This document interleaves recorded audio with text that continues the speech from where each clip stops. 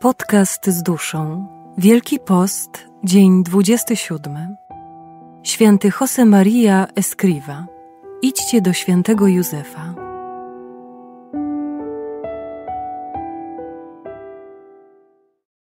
Józef, troszcząc się o dziecko, jak mu to zostało polecone, uczynił z Jezusa rzemieślnika, przekazał mu swój zawód. Dlatego mieszkańcy Nazaretu, mówiąc o Jezusie, będą go nazywać bez różnicy Faber i Fabrifilius, rzemieślnikiem i synem rzemieślnika. Jezus pracował w warsztacie Józefa i razem z Józefem. Jaki był Józef? Jak działała w nim łaska, że mógł wychować Syna Bożego w tym, co ludzkie?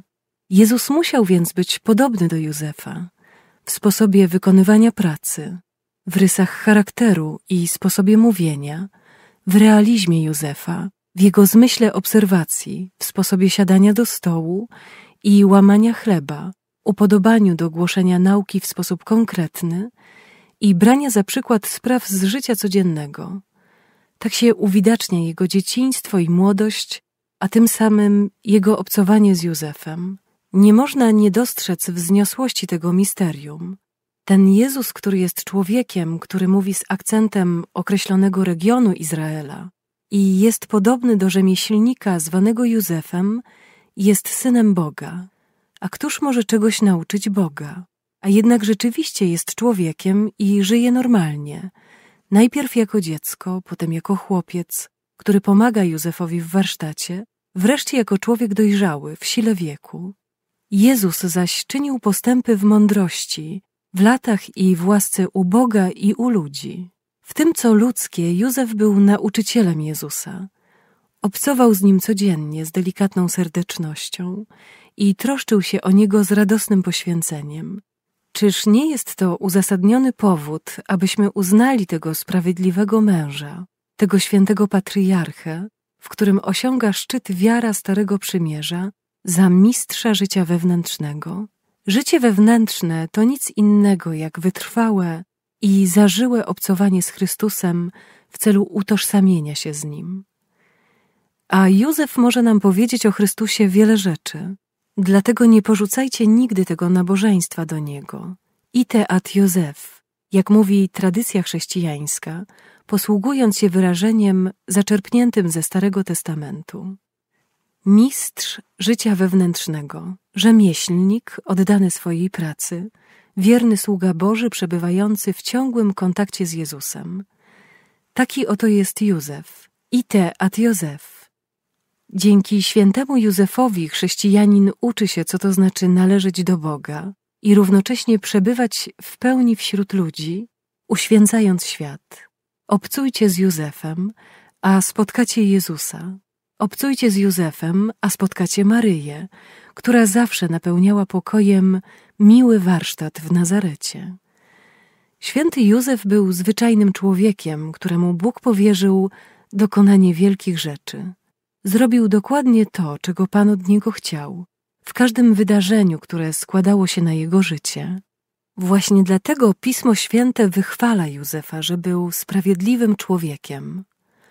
Po hebrajsku człowiek sprawiedliwy był dobrym i wiernym sługą Boga. Wypełniał boską wolę lub tym, kto był szanowany i miłosierny wobec swego bliźniego.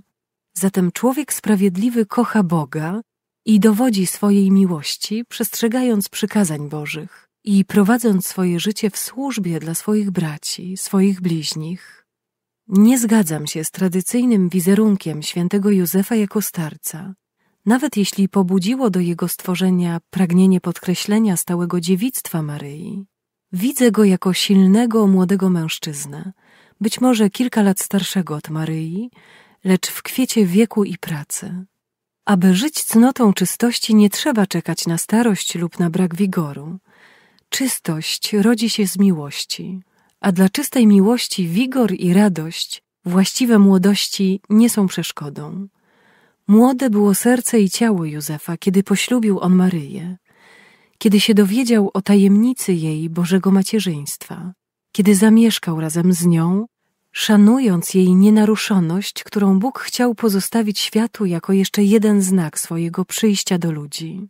Kto nie jest w stanie zrozumieć takiej miłości, wie bardzo mało o tym, czym jest prawdziwa miłość i jest mu całkowicie obcy chrześcijański sens czystości.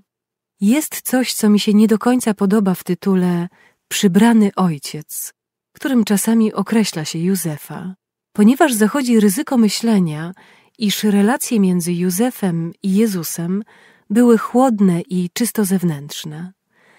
Nasza wiara mówi nam faktycznie, iż nie był on ojcem według ciała. Nie jest to jednak jedyne ojcostwo. Kochaj bardzo świętego Józefa, kochaj go z całej swojej duszy, gdyż jest tym, który wraz z Jezusem najbardziej miłował Najświętszą Maryję Pannę i który najwięcej obcował z Bogiem, który po naszej Matce najbardziej go kochał, jest godzien Twojej miłości i warto byś z nim obcował, gdyż jest nauczycielem życia wewnętrznego i wiele może przed Panem i Matką Bożą.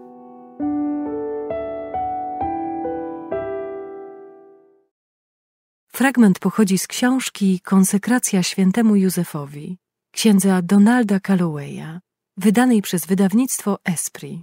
Więcej informacji na www.esprit.com.pl